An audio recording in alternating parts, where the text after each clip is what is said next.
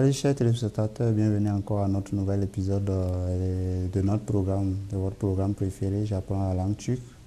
Euh, au cours de ce nouveau épisode, nous allons apprendre un autre temps, le subjonctif, euh, qui est dit en français dilek kipi, c'est-à-dire l'optatif.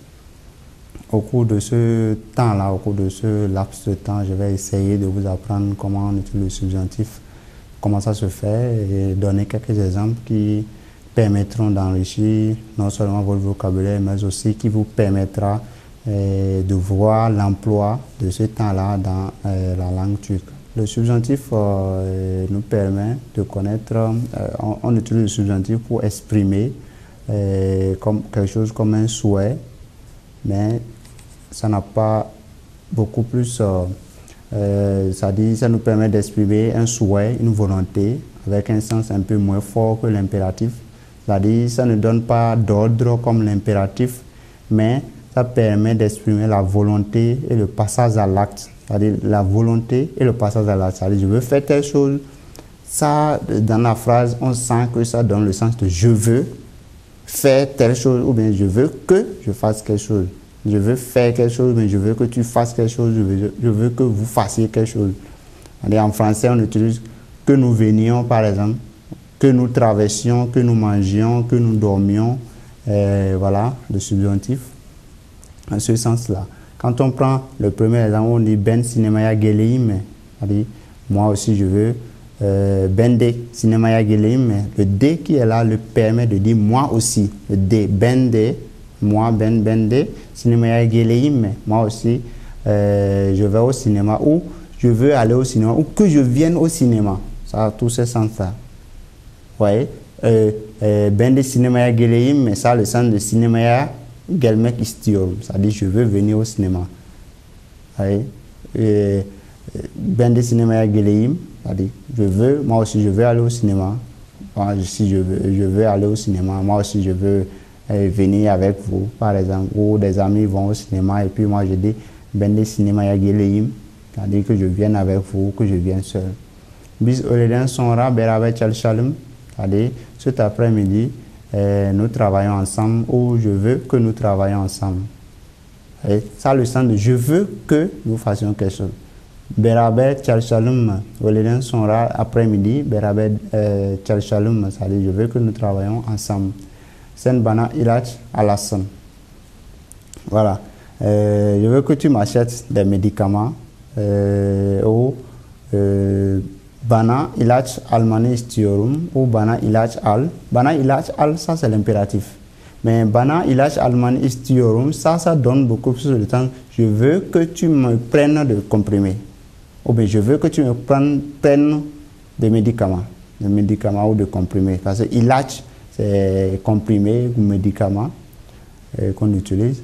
Donc, ici, à la scène, nous allons voir un peu plus au niveau de la formation euh, comment se fait la règle, comment on utilise pour parler, comment on utilise pour faire la conjugaison, n'est-ce pas, du, du subjonctif. Alors, euh, la troisième personne du singulier est souvent employée dans les expressions figées. Par exemple, gele. C'est-à-dire, on voit quelqu'un qui vient, on dit gele. Ça, c'est un truc un peu plus ancien, mais on utilise ça, gele, pour dire euh, que ce soit facile ou bien bon travail. En termes, euh, ça a le même sens que bon travail. Vous trouvez quelqu'un qui est en train de travailler, vous lui dites gele ou gesin. Quand vous dites gesin, ça va dans l'impératif. Mais quand vous dites gele, ça, ça c'est le subjonctif, l'optatif que nous sommes en train d'expliquer maintenant là. Ça. Alors, l'affirmatif se fait avec euh, le, en ajoutant au radical du verbe le radical du verbe, nous savons que c'est quand on enlève le mec ou le mac euh, de l'infinitif du verbe. Par exemple, gelmek. Gelmek, ça veut dire venir. On enlève le mec. Le gel, ça veut dire G-E-L, seul. C'est ça qui est euh, la racine verbale. On lui ajoute maintenant E ou A en fonction de l'harmonie vocale. Plus maintenant le, euh, suffixe de personne. Ici, le suffixe de l'optatif, c'est E ou A, ou Yé ou Ya, c'est-à-dire, on avait déjà expliqué ça au niveau des, épisodes précédents. Quand on a E, euh, quand on a une voyelle et que la racine verbale du verbe est terminée par une voyelle. Donc, on est obligé d'ajouter Y, d'utiliser Y pour pouvoir faciliter la prononciation et pour, pour que le mot sonne très bien. Nous allons venir aux exemples. Gelmek qui veut dire venir, Sormak demander, Anlamak et comprendre, Ushmek sentir, avoir froid, Gitmek aller ou partir. Alors, quand on prend le sens de la première personne du singulier, Ben Geleim, Ben Geleim. Quand on dit Ben Geleim, c'est Ben Geleim, ça le sens de que je vienne. Que je vienne, ou je veux venir, ou je viens. Mais quand on donne toutes ces phrases-là, on euh, serait confus on va dire, mais quel substantif ça ou bien pourquoi est-ce que le sens approprié c'est que je vienne, Geleim, que je vienne cest quelqu'un vous appelle Geleim. On a déjà dit que la formation de, subjonctif se fait en ajoutant le E. On sait que le Gelmek, le mec à la fin là, ce mec là, c'est le mec de l'infinitif. Donc on ajoute, on a gel seul qui est là, qui est racine verbale. On y ajoute E. Pourquoi on ajoute E? On ajoute E parce qu'il y a gelé, c'est-à-dire il y a E ici, il y a E là. Hein? E, E, E, ce sont des voyelles de front. Les voyelles de front se suivent ensemble. Donc, on a dit maintenant Geleyim. On sait que le, le im pour la première personne du singulier, c'est im, euh, um, um, ou bien ainsi de suite. Maintenant, ici, il y a une voyelle là qui est i, il y a une autre voyelle là qui est e, c'est-à-dire le suffixe de, de, subjonctif. Donc, on y ajoute y pour permettre, pour faciliter et pour donner une euh, harmonie vocale au mot. Hein? Quand vous dites Geleim tout court, vous pouvez dire Ben Geleim ou bien vous pouvez dire Geleim tout court. si vous dites Ben Geleim, ça veut dire que je vienne. Geleim, ça veut dire que je vienne, la même chose. Alors, on, parle, on passe au deuxième exemple. Sormak, la racine verbale ici c'est sort, donc on lui ajoute A. Pourquoi A? Parce que O, O, vous voyez de fond, donc on ajoute A qui est aussi voyelle de fond, et ça fait euh, Soraim, Soraim, Soraim, Soraim, c'est-à-dire que je vous demande, que je demande.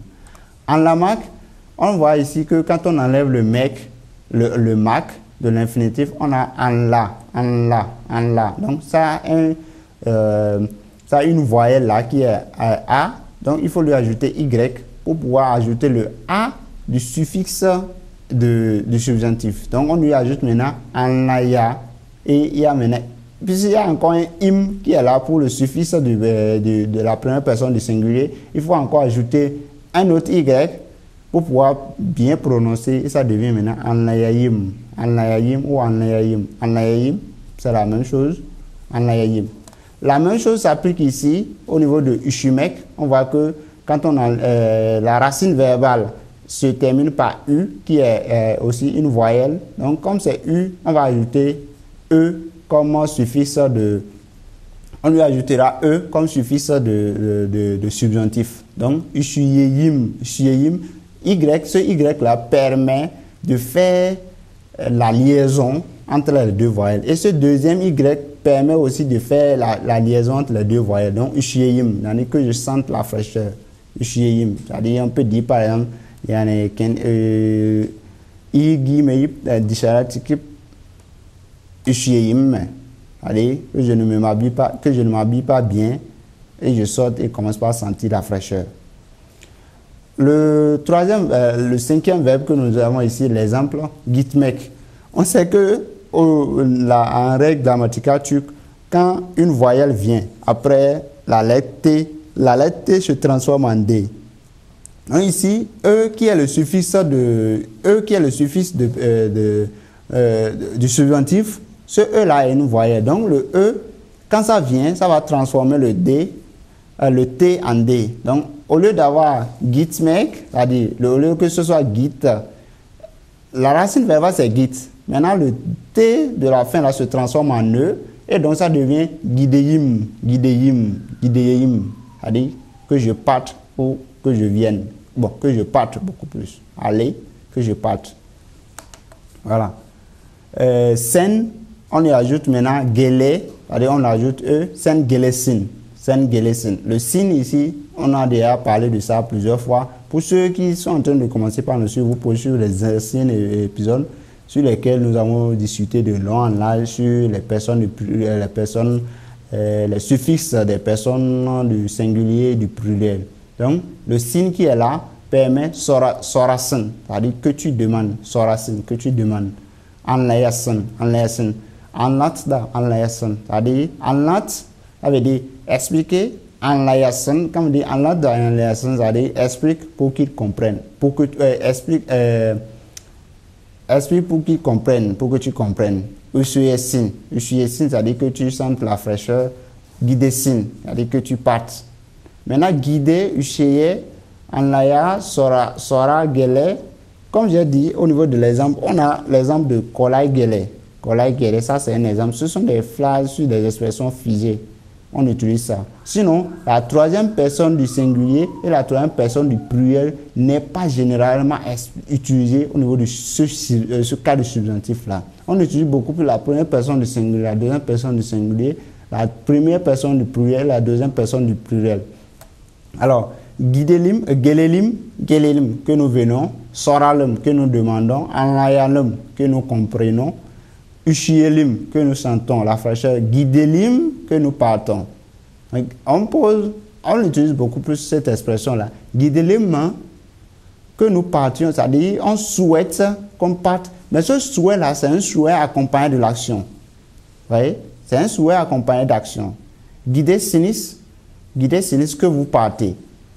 Ushuye sinis que vous sentez la fraîcheur, que vous, ayez froid. Anlaya sinis, anlaya sinis que vous compreniez. Sora sinis que vous posiez, que vous posez de questions, euh, parce que, que vous demandiez. Pardon, que vous demandiez. Gele sinis que vous veniez. Euh, le négatif de, du subjonctif se fait en ajoutant le suffixe de négatif à la racine verbale. Nous connaissons déjà ce que c'est que la racine verbale, mais le suffixe de négation, j'ai toujours expliqué ça ici, ça fait mais ou ma en fonction de la dernière voyelle de la racine verbale. On utilise mais lorsque nous avons les voyelles de front, ça dit E, I, E, I, U, E, les voyelles de front, mais on utilise ma lorsqu'on a les voyelles de fond, c'est-à-dire O, U, voyez, O, U, E, A, les voyelles de fond. Donc, on utilise ma dans ce cas-là. Donc, sorma, le négatif de sormac devient maintenant sormamac. Dans ce cas, on enlève donc ce euh, mac-là qui fait l'infinitif, on lui ajoute maintenant le suffixe de l'optatif, c'est-à-dire le suffixe du subjonctif, qui lui donne dans ce cas, vous allez constater qu'au niveau de, de, de, la forme négative, nous avons toujours utilisé les Y pour consoler. Pourquoi? Parce que le suffixe de négation vient déjà avec un E. Le suffixe de négation vient déjà avec un E. Et donc, puisque le suffixe de, du subjonctif c'est un E ou un A, donc ça fait deux voyelles qui ne peuvent pas se mettre ensemble. On va nécessairement utiliser Y pour pouvoir faire une très bonne formation, par exemple, que je ne vienne pas.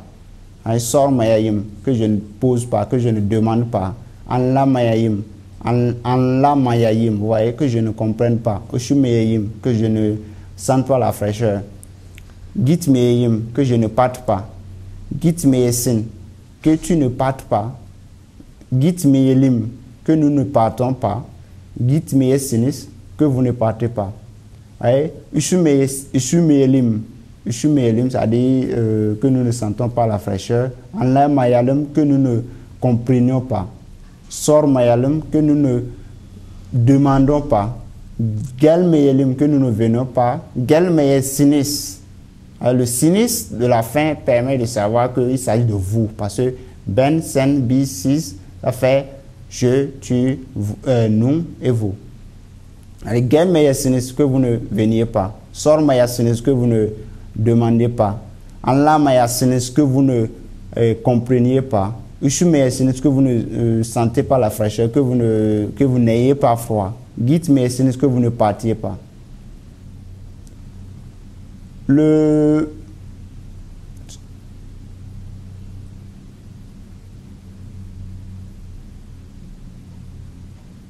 le suffixe de négation, c'est toujours la forme négative. On a vu comment ça se fait. Donc, on a maintenant la forme interro-négative. La forme interro-négative qui permet de savoir comment est-ce que ça se fait. Et maintenant, pour la forme interrogative, on ajoute seulement main à la forme affirmative. C'est-à-dire la forme affirmative où on a ici Geleim, on, y ajoute main, Geleim main, Sorayim main, Anlayayim main, Ushiyim main, allez, on dit Geleim main, que je vienne, forme interrogative. Sorayim main, que je demande, que je demande, ainsi de suite.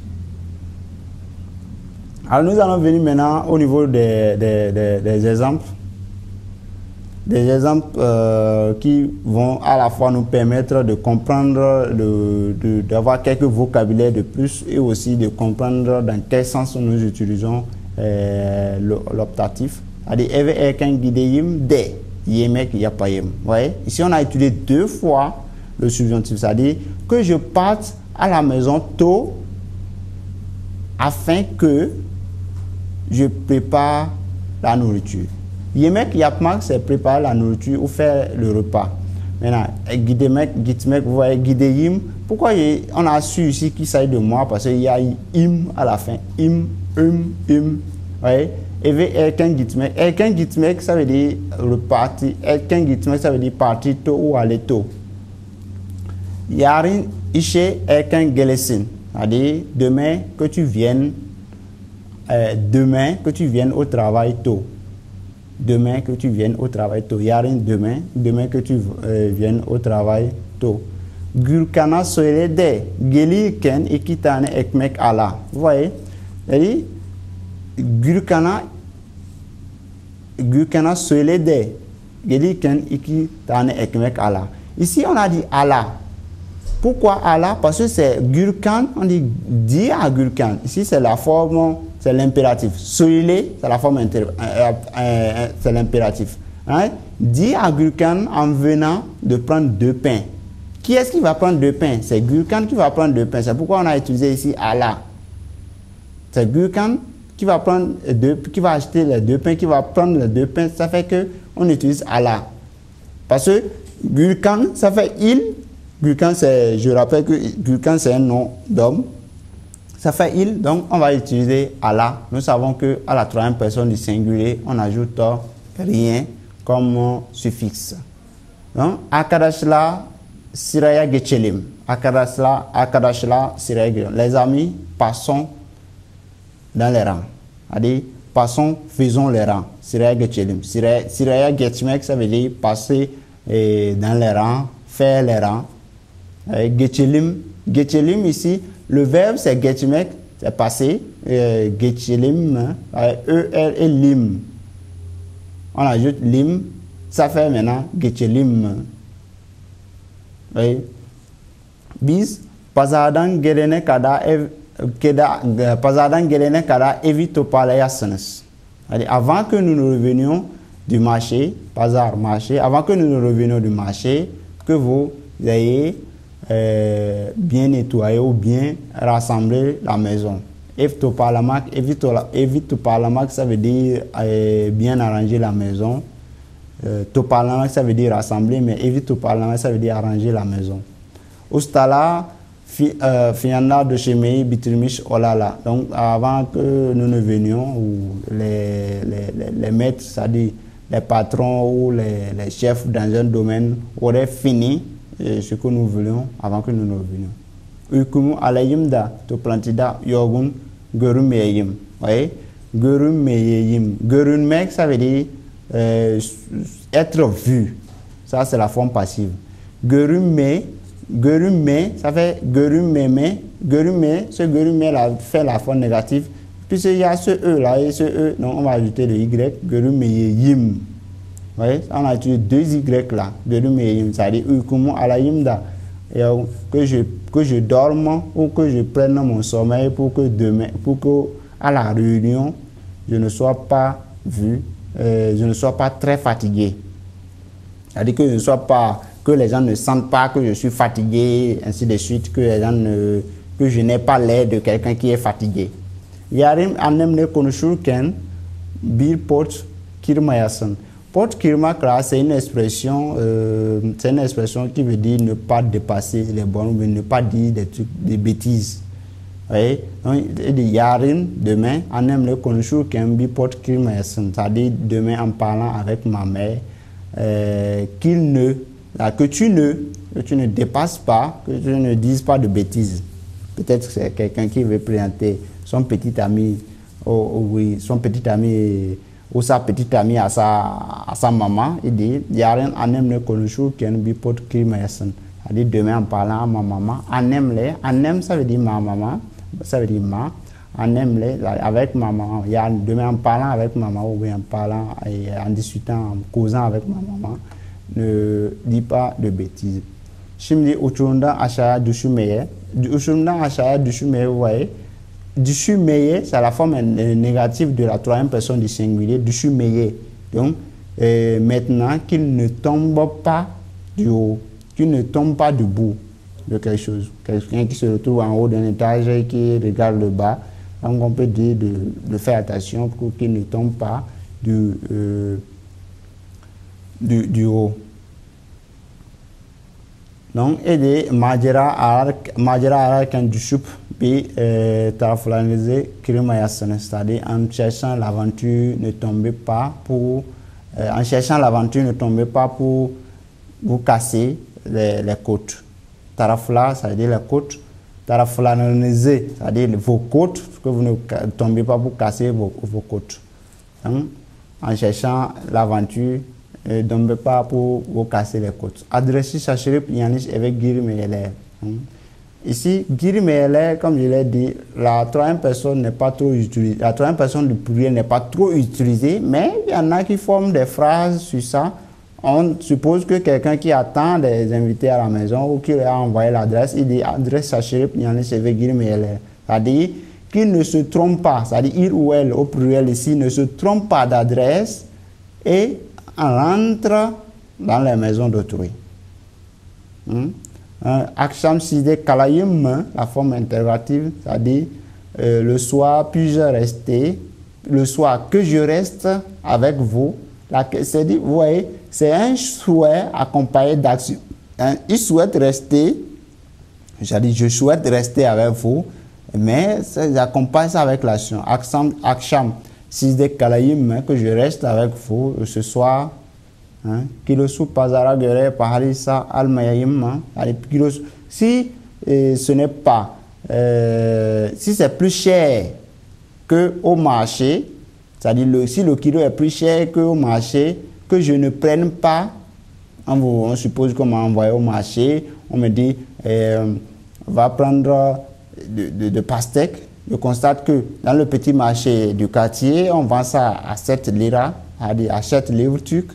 Maintenant, je vais dans, le centre commercial, je trouve ça, ou bien je vais dans un des plus grands supermarchés et je vois que le kilo est à, à 10, à 10 livres turcs. Je demande maintenant si le kilo est plus cher qu'au marché du quartier, est-ce que, que je ne prenne pas? Ouais. Il y a maintenant son film hein? Après le repas, que nous suivions le film. C'est-à-dire, la forme, c'est interrogative, c'est un souhait. C'est-à-dire, ce souhait-là, c'est un souhait qu'on pose, on pose, le, souhait qui est accompagné avec action.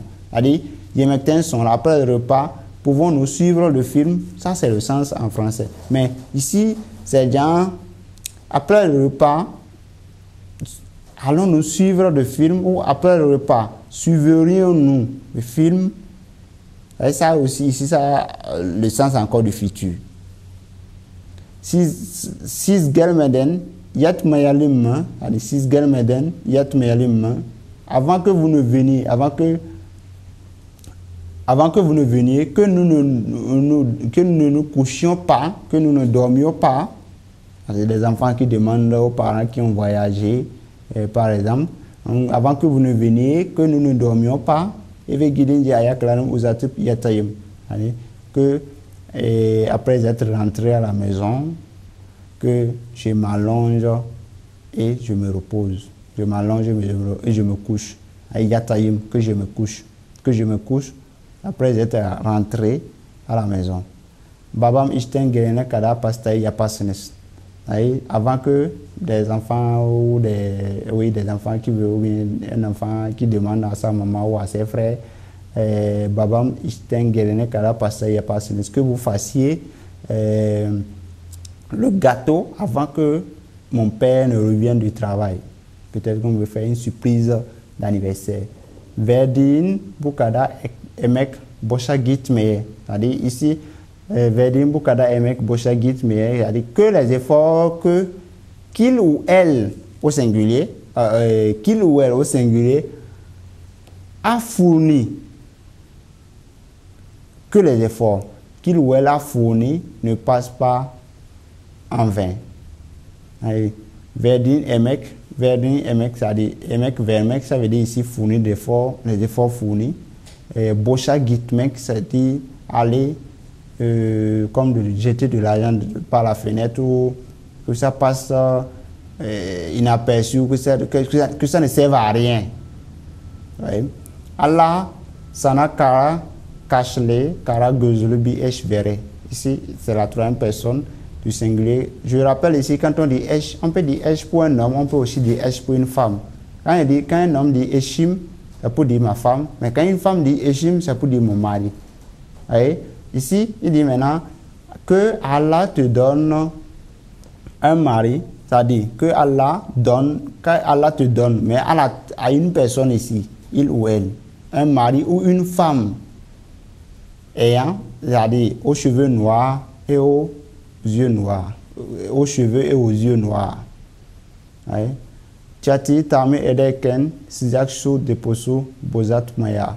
Là, en préparant, en réparant la coiffure de la maison, que il ne, qu'il ne gâte pas, qu'il ne gâte pas le, dépôt d'eau chaude qu'il y a, parce que dans les maisons, on fait le dépôt d'eau chaude en haut, ça se chauffe et puis ça descend quand on va vouloir utiliser. Donc, que pendant qu'il qu répare la coiffure, la toiture de la maison, qu'il ne gaspille pas ou qu'il ne gâte pas l'eau chaude, le dépôt d'eau chaude. Gentile hazi orana kara sopet et destines. Avant que les enfants, en attendant que, avant ou euh, en attendant que les jeunes ne soient prêts, en, en attendant que les jeunes ne s'apprêtent, causer, c'est-à-dire que vous causez, que vous causez en attendant que les jeunes ne soient prêts. Vous ce dushmielim. Vous ce kume dushmielim. Bashkabi chez istemem. C'est-à-dire que cette année, nous ne, euh, nous ne tombons pas en faillite. Je ne veux plus, je n'ai plus besoin de rien.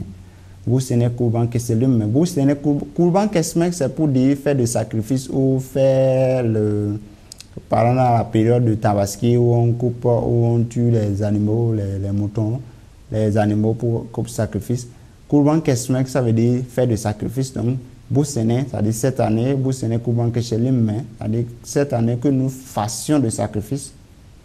Ouais, c'est un souhait accompagné d'action. Yola Chikmadanonje, la stiplerie des stress. C'est-à-dire avant que tu ne partes, avant. Yola Chikmal, ça veut dire sortir, prendre la voie pour quelque part. Yola Chikmak, Yola Chikiro, ça veut dire je suis en train de prendre la voie, je suis sur le point de sortir. Maintenant, yellowatic maintenant on dit l'article distressness. Distressness, ça veut dire changer. Lastique, ça veut dire les pneus des, voitures ou des motos. Lastique, c'est pneus. Donc, yolatic maintenant on dit l'article distressness, c'est-à-dire avant que tu ne sortes, avant que tu ne prennes la voie, il faut changer. Il faut que tu changes tes pneus. Un big de top sakatlayam sakatlamaya sakat Sakatlan Maya. C'est-à-dire, pour une fois, en jouant, que tu ne te blesses pas ou que tu ne te, voilà, que tu ne te blesses pas gravement. Merci beaucoup, ces téléspectateurs, et merci beaucoup à ceux qui nous ont suivis du début jusqu'à la fin. Pour ceux qui nous ont rejoints vers la fin, vous pouvez suivre l'intégralité non seulement de de, cet épisode, mais vous pouvez suivre aussi les épisodes de J'apprends la langue dès le début de la, premier épisode jusqu'à ce moment-là. Et n'oubliez pas, nous continuons toujours par faire, par améliorer. Avec, sur le numéro qui s'affiche en bas, vous pouvez envoyer vos commentaires, des trucs que vous n'avez pas compris. Vous pouvez poser des questions et je vais essayer de vous répondre. Natura TV, YouTube, vous pouvez suivre l'intégralité de ces émissions-là. Vous pouvez aussi suivre, vous pouvez nous suivre sur nos pages Facebook, Instagram, Twitter, Natura TV. Natura TV, nous, faisons les programmes en français, en turc. Vous savez, Natura TV, c'est une télévision qui fait sa division spécialement en Afrique. Je vous dis, je à la semaine prochaine. Bye.